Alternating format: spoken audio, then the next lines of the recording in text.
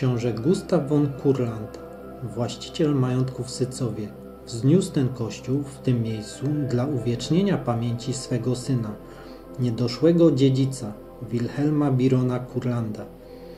Projektantem stawianej w latach 1901-1902 budowli był niemiecki architekt Arnold Hartmann. Do jej postawienia w dużej mierze służyły polne kamienie, a także czerwony piaskowiec.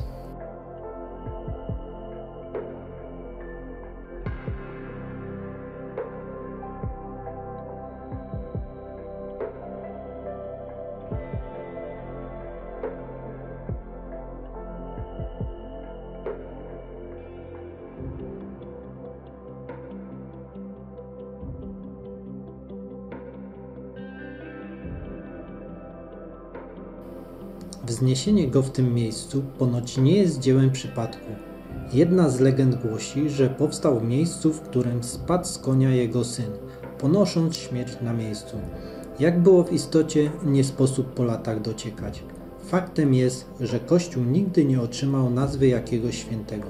Był swoistym mauzoleum pamięci syna Gustawa.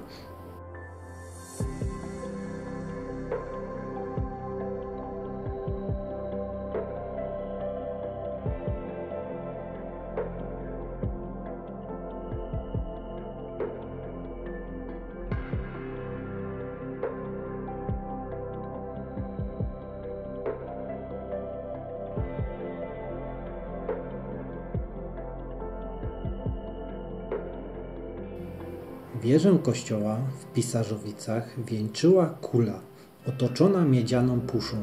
Mówiło się, że wewnątrz skrywa się cenny skarb. Kula w całości zrobiona ze złota. Wielu było takich, którzy próbowali się spiąć na wieżę, choć oficjalnych doniesień o tragicznych eskapadach brak.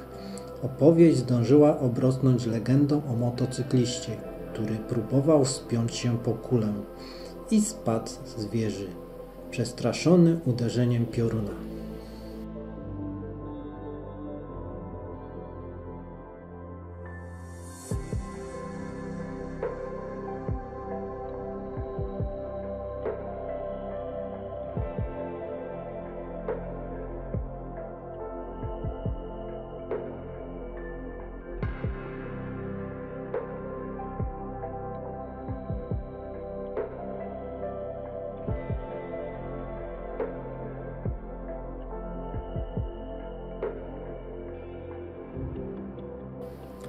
Gdy lata później podczas jednej z wichur wieża runęła i wbiła się w ziemię obok, nie minęła nawet chwila, gdy w pobliżu zaroiło się od lokalnych mieszkańców. Podobno czubek wieży skrupulatnie wykopano z rozmiękłej ziemi. Złotej kuli już tam nie było.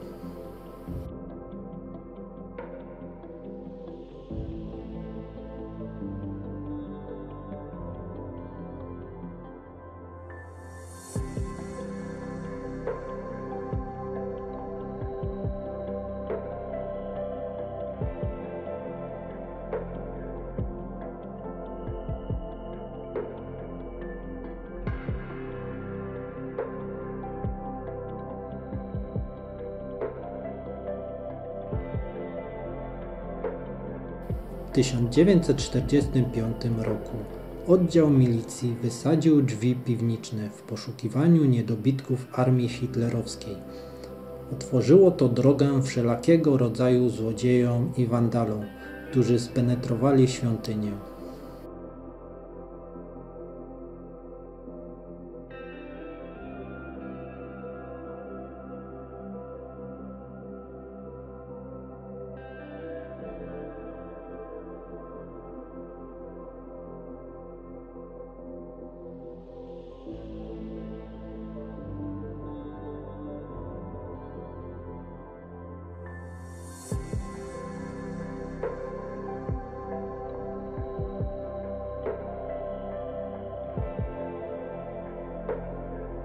Okoliczne parafie przeniosły do swoich kościołów ławy oraz dzwon do Mąkoszyc, a organy do Mikorzyna, dzięki czemu można oglądać je do dzisiaj.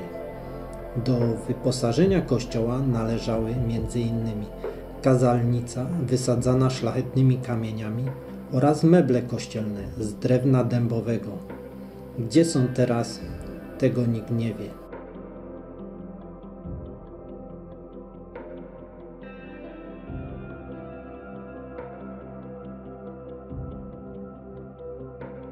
Do następnego.